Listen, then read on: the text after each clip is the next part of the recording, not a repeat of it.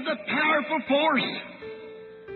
It'll run a woman, a mother, right into the flames of fire after her baby if she knows she's plunging herself to death. There's nothing more strong than love. Love will make you trust. You might go and know that you belong to the greatest church in all the provinces of Canada. You might know that you're the charter member of the greatest church in the nation.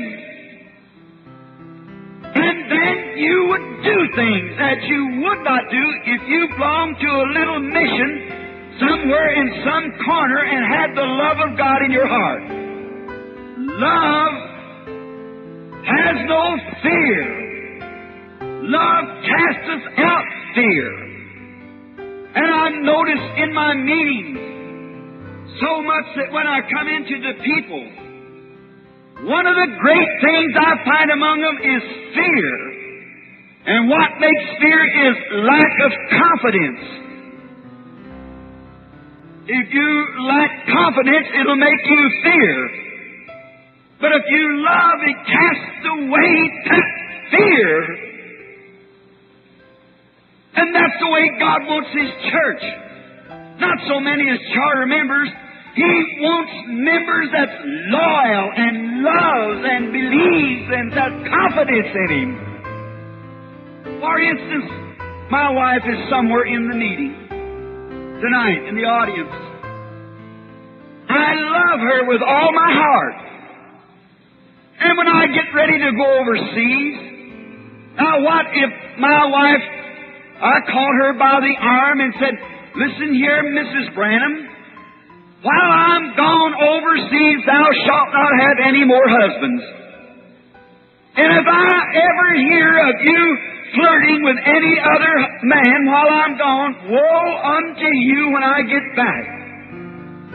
And then if she'd catch me by the coat collar and say, That's very well, Mr. Branham. But I want you to have a little law too. If I hear of you going out with another woman, woe unto you when you come back. Now, wouldn't that be a home? Well, that's just about the way we made God's place a dwelling. Some kind of legalistic laws that we have to keep. What do I do when I go overseas? I love my wife.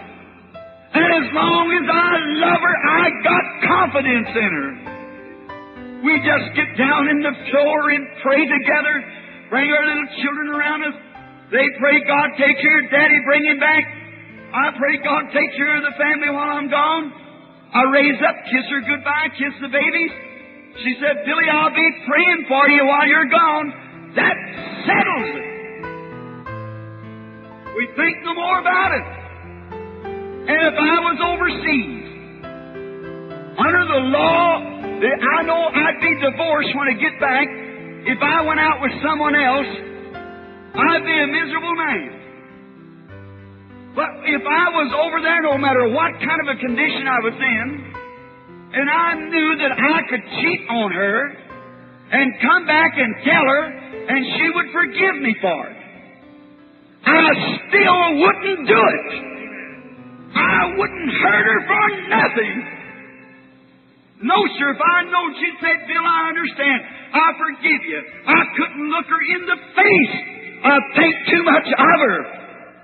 I tell you, brother, when the love of God comes into the human heart, it'll drive all these things. You don't have to worry about smoking, drinking, and running to bioscopes. When the love of Christ comes into your heart, you wouldn't do nothing to hurt him. Not walking around saying they're narrow minded and they're this way and that way. Just let the love of God strike you once. Those things die.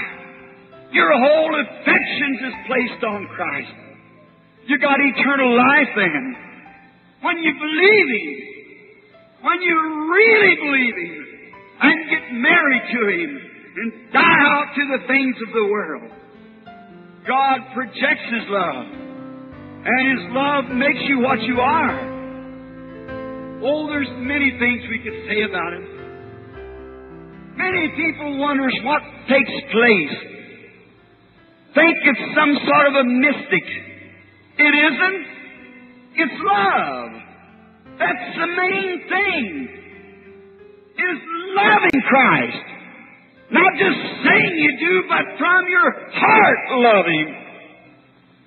I've seen the cruelest of devils conquered. I've seen wild animals floor themselves in the presence of God's love. Love casteth the fear away.